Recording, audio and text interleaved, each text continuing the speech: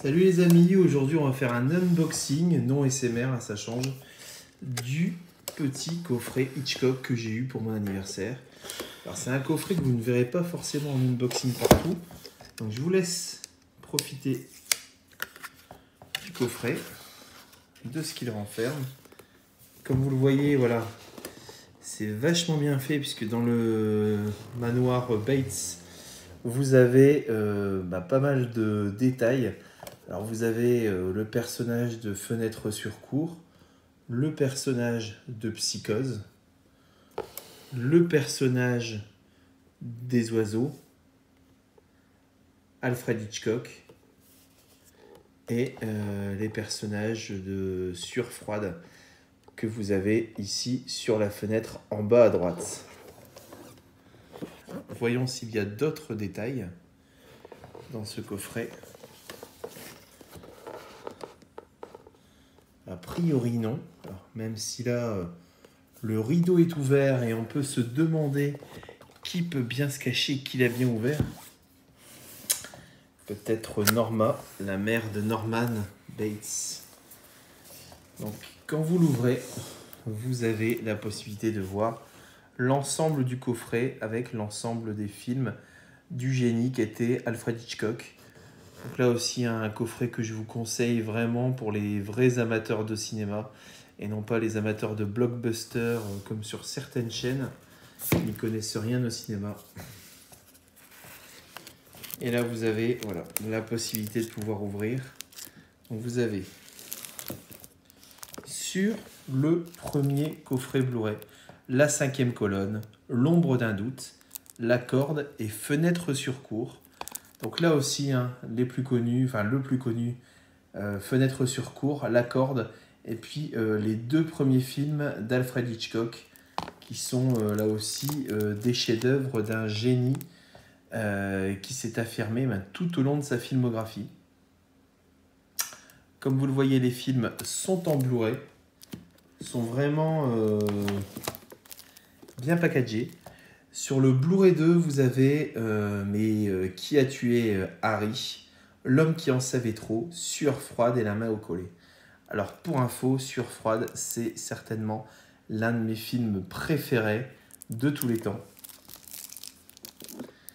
Et forcément, là aussi, vous avez des bonus à chaque film, le Blu-ray et bien sûr s'il s'agit des versions françaises.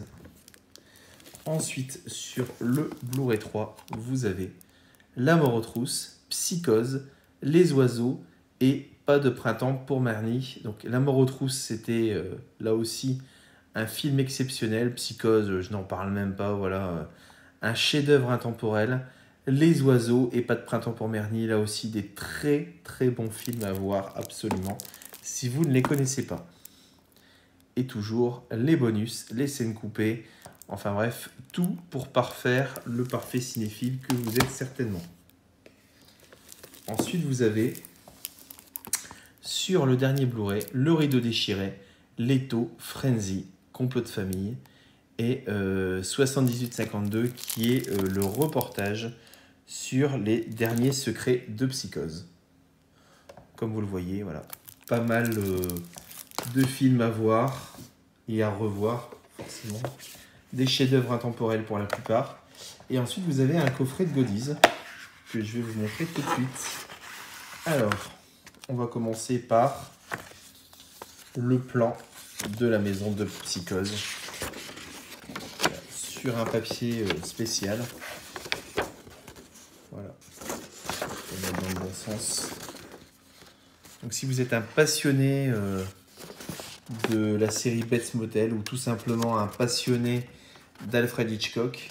Là aussi, hein, comme vous le voyez, ce n'est pas simplement un coffret de Blu-ray de film, c'est euh, vraiment un coffret qui est axé autour euh, voilà, de, de, ce grand personnage qui était Alfred Hitchcock, et puis aussi euh, des passionnés de belles pièces que je suis. Ensuite, vous avez un petit carnet de notes Bates Motel. Voilà, très sympa, hein, qui reprend le visuel finalement des chambres qui euh, ben, connaissent euh, finalement euh, l'action du, film, hein, pour ceux qui l'ont déjà vu. Je ne sais pas qui ne l'aurait pas vu, mais bon. Ensuite, vous avez un petit livret sur vraiment l'œuvre d'Alfred Hitchcock, comment il a conçu tout ça, enfin, bref, ses rapports avec les acteurs masculins et féminins, et puis son adoration forcément pour les blondes. Aussi une la costumière hein, qui était vraiment très très importante dans tous ces films, dans, tous ces films, et puis aussi le concepteur des génériques de films parce que une des composantes importantes des films d'Alfred Hitchcock, c'était euh, vraiment les bandes annonces et puis euh, les génériques que vous trouviez au début de chaque film.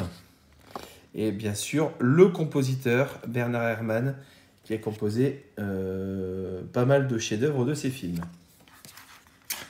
Et ensuite, la dernière pièce du coffret qui n'est autre que une petite pancarte Please do not disturb du Bates Motel.